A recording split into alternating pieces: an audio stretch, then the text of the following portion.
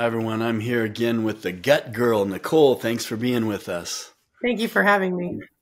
So, we've done a few videos and talked a little bit, you know, off camera. And the last couple times we've talked about calories. We both hate the term calories in, calories out because it's misleading. It, it, it just sounds like, okay, I've got to starve myself. But I did a little research on some foods that you can eat and added up the calories. And that kind of motivated you to do a little research and look at some of your clients and calories. How many calories? What are the macros of certain foods when you're eating quality food compared to eating if you're eating junk? And the one I did last time, it was over 2000 calories and what, 16 grams of protein? Yeah. You know, uh, eating 2,200 calories and 16 grams of protein, that's not good. No, not at all. So, so tell us what you did. Okay, so I took my typical day and one of my clients' typical days when they very first came to me, what their typical day was, and what they thought was pretty much no big deal, and it was a daily thing. So, um, and I kind of went at it a little differently with with calories and sugar intake because I don't think people understand what they're actually putting in as sugar intake. And I'm not, um, I'm not a keto. I mean, I'm, I'm a little bit of everything really, but I'm not a just a staunch promoter of keto or something like that. So when you hear these, this is just a typical day of mine. Um, okay, but I'm to do my clients first. So jelly filled donut with a pumpkin spice frappuccino for breakfast. Okay, wait a minute. I have a question. Did you go back and show them this after this comparison? Yes. Oh yes. man, I must have just blown them away, just like it's our audience. Okay, so really a jelly, and they go, "I'm I, I didn't eat anything. I only ate three donuts." Right, right, and and really, and what they and and you know, not to not to rip on him at all, but he the person said to me, well, it's only one donut. That's like the equivalent of a bagel. I said, well, the, neither one of them's good for you. So don't use that as a comparison. um, okay. Jelly filled donut and a pumpkin spice frappuccino, small fry, Big Mac, and a Coke. A one cup of fettuccine alfredo, one breadstick, and how many of us just eat one breadstick? So this number probably is larger and one glass of red wine. Afterwards, going home, he had two thirds, around two thirds of a cup of Rocky Road ice cream. Okay. His so not even a cup. Huh? Not even a cup of ice. Not cream. even a cup, which because he thought he was doing good by scaling back. Okay. So 2,234 calories, 132 grams of sugar. That's that's diabetes in a day. it's awful. So then you come to my typical day, okay? And this is so surprising to me because I do not count calories. I don't. Um, and this is, you know, give or take in a day. Usually it's two large eggs, a cup of spinach, a fourth a cup of feta, and um, a tablespoon of Nutpods in my coffee. So that is my morning breakfast. My lunch is a chicken breast, half of a sweet potato, and probably a cup of broccoli. I don't drink anything but water during the day, so I don't have anything liquid that I count as calories. A six ounce steak, one cup of rice, and one cup of asparagus. That's your that dinner? total that's my dinner. Total calories is 1288. My sugars are 11. Put those two things into perspective and that's why some people come to me and they're like, well, I just didn't think I was doing anything wrong. It's, I mean, it's a small donut and it's, it's really not all that bad. But when, when I went back and showed him this, because you actually kind of inspired me to do this, so I went back and showed him what this was, and he was like, What? he was blown away by it. You know, it's like people think volume mm-hmm. is calories. Well, I'm eating a small amount.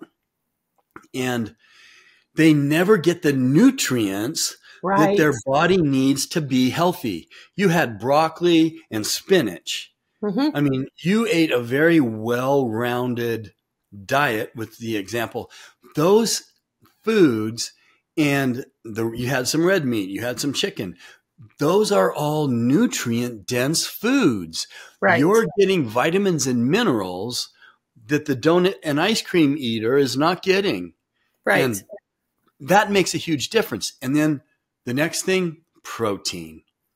Yep. And that's the mistake. Look, I'm in my 60s. If I ate that for a week, I might be a diabetic in a week. oh yeah, easily. Seriously. Yeah. And Well, I could no get away with it if I was 20, but I can't, I couldn't get away with that now. No, not at all.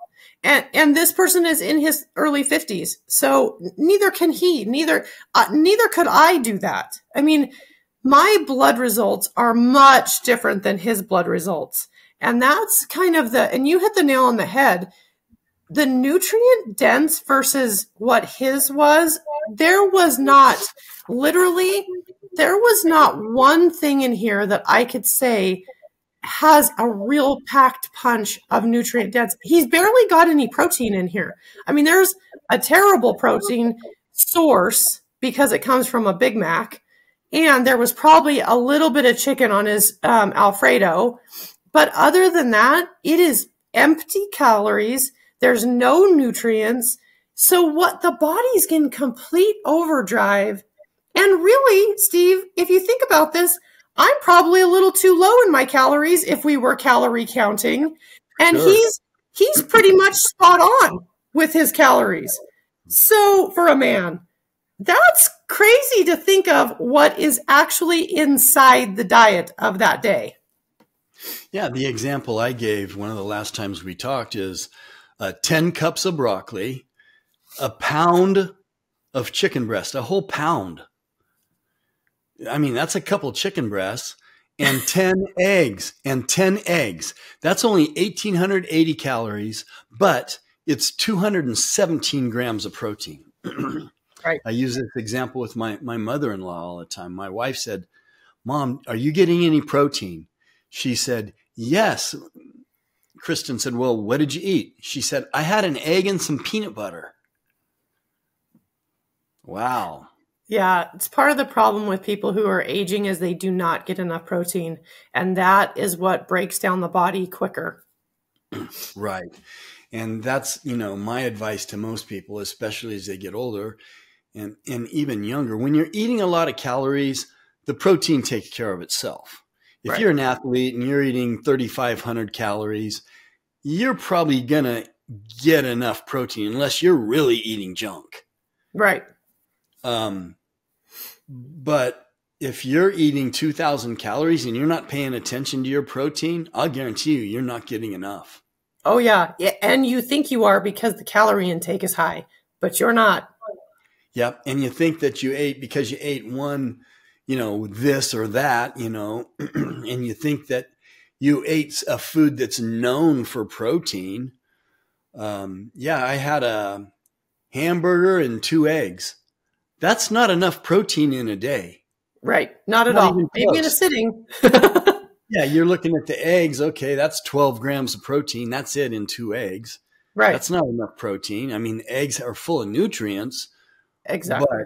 But you know, I, I eat five or six eggs to make sure I get at least thirty or thirty-six grams of protein, and then I'm pounding the amino acids on top of that. um, but you know, in a hamburger, you know, a five ounce hamburger, I mean, you're not. You're maybe up close to 30 grams of protein, you know, six With ounces. combo, yeah. Yeah, maybe, but that's not enough protein in a day. And No, not a. it's just a mistake people make. They don't get enough protein. And then they, well, I ate a protein bar too. Okay, that's 12 grams of protein.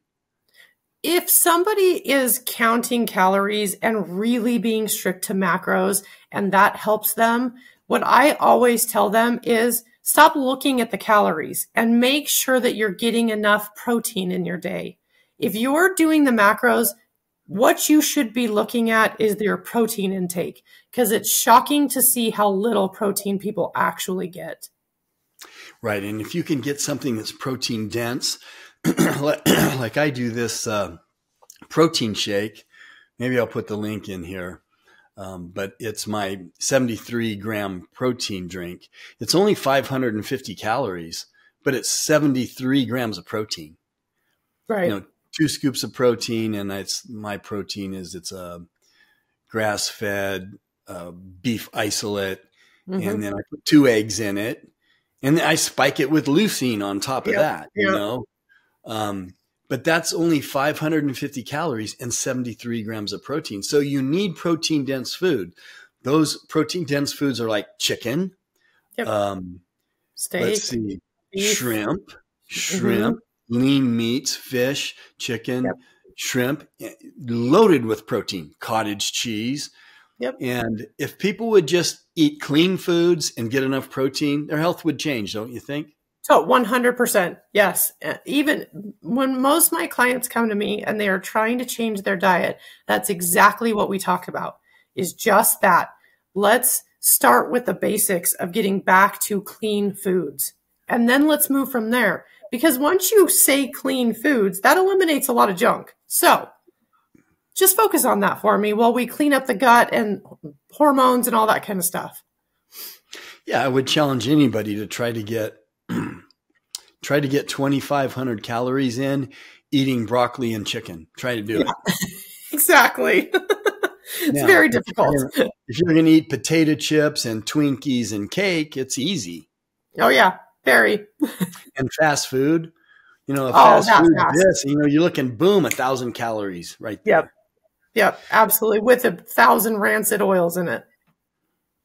So Nicole, you said if people tell say that they saw this they reach out to you you'll give them $100 off your initial program which is you know you're going to read the blood work you're going to do kind of the things that we're talking about here so how do they get a hold of you they can reach me at the gut girl one at gmail.com and just say that you saw one of these videos and i'll give $100 off the program. Great. Okay. Well nicole thanks for being with us and we will talk to you next time. Thank you for having me